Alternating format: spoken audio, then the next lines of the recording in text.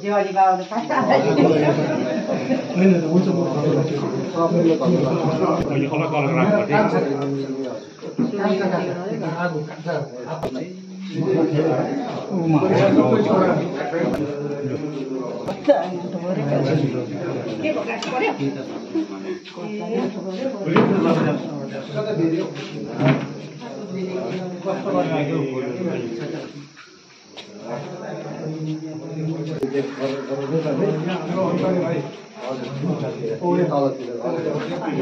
बाढी पऱ्यो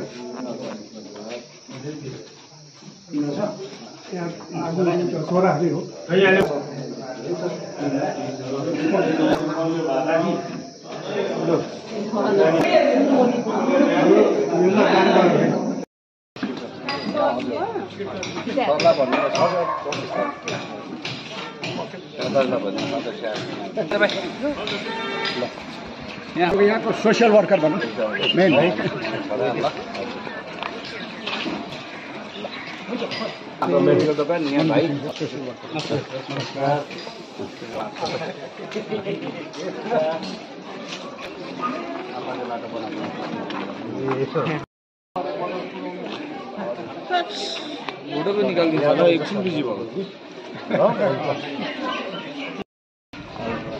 सुरेश ल ल सुरेश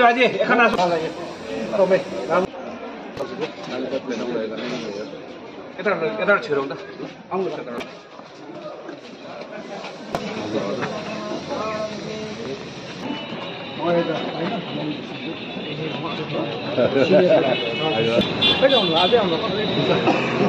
जुन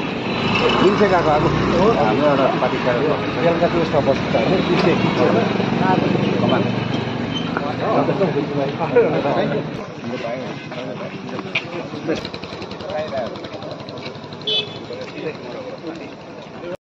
काटेर दुई पछि चाहिँ हजुर परै हो अस्सी हजार कि नब्बे हजार पर मन्थ एक लाख कार्यकर्ता सेवाश्री प्रधानज्यू सामाजिक कार्यकर्ता पनि यहाँ हुनुहुन्छ। अमर भाइ पनि हुनुहुन्छ र युथका हाम्रा संयोजक हाम्रो यहाँ हाम्रो दार्जिलिङ गोर्खा हिल काउन्सिल अन्तर्गत पच्चिस नम्बर सम- समष्टि अन्तर्गत हामी क्षेत्रभित्र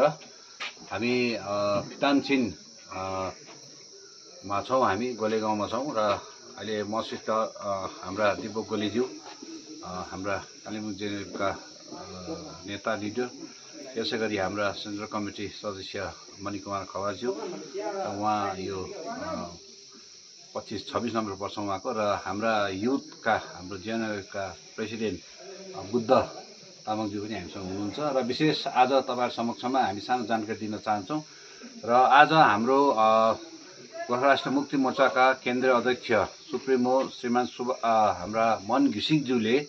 यो इलाकामा उहाँले भ्रमण गर्नुभयो र विशेष आज पच्चिस नम्बर समष्टि अन्तर्गत उहाँ पेदोङमा इच्छे गाउँबाट आउनु भएर बिहान पेदोङको शहीद पार्कमा उहाँले खदार्पण गरेर त्यहाँका समर्थकहरूसँग त्यहाँका हाम्रा सिनियर सिटिजनहरूसँग भेटघाट गरेर उहाँले भलाकुसारी गर्नुभयो। सबैसँग नमस्ते हात जोडेर उहाँ हिँड्नुभयो र सबैसँग इन्टरेक्सन गर्नुभयो र त्यसपछि आएर भाइ रेसी भएर रेसीमा हाम्रा दिपक गोलेज्यूले हाम्रो अध्यक्ष महोदयलाई स्वागत जनाइसकेपछि हामी सिक्किम पस्यौँ र सिक्किम रिनक भएर आएर अस्ति भर अस्तिको दिन मात्रै हाम्रा गोर्खा राष्ट्र मुक्ति मोर्चाका स्थापना कालदेखि खट्ने हाम्रा श्रद्धेय साथी स्वर्गीय केपी पौडेलज्यू एउटा प्रखर नेता हुनुहुन्थ्यो र उहाँ अस्ति बित्नु भएको थियो र उहाँको परिवारसँग सम- संवेदना जनाउने निम्ति हाम्रो अध्यक्ष महोदय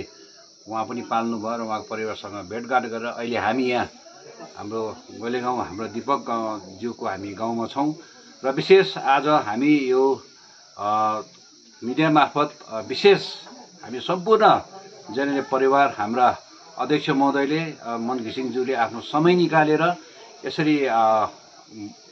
आफ्नो इलाका हाम्रो इलाका भ्रमण गरेर गरिदिनु भयो र यसको फलाफल हामीले पायौँ हाम्रो जनता जनार्दनमा एउटा सबैको ओठमा मुस्कान एउटा मुस्कान हामीले देख्न पायौँ। यसको निम्ति हामी अध्यक्ष महोदयलाई धन्यवाद दिन चाहन्छौँ र मलाई लाग्छ हामी यहाँ साथीहरू छौँ र उहाँको यो भ्रमणले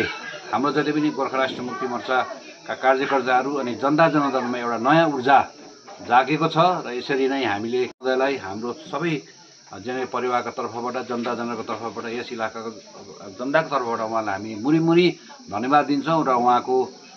भविष्यमा उहाँले जुन सोचेको छ उहाँले जुन एउटा एउटा बिडा थामेको छ र उहाँले चाँडै नै त्यो कुरोलाई उहाँले एउटा सल्टाएर जान्छ भन्ने हामीसँग भगवान्सँग हामी विश्वास गर्छौँ र उहाँलाई पनि हामी विश्वास गर्छौँ र उहाँको नेतृत्वलाई जुन एउटा उहाँ एउटा हाम्रो लास्ट होप गोर्खाको लास्ट होप हो र गर्दाखेरि तपाईँ सबैलाई हामी आह्वान गर्छौँ र उहाँले दोहोऱ्याएको बाटोमा हामी हिँड्न सक्नुपर्छ र यति भन्दै र फेरि पनि हामी सम्पूर्ण जनता जनार्दन जिउने परिवारको तर्फबाट उहाँले यसरी भ्रमण गरिदिनु भएकोमा हामी उहाँलाई मुरी मुरी धन्यवाद भन्दै उहाँको दीर्घायुको कामना गर्छौँ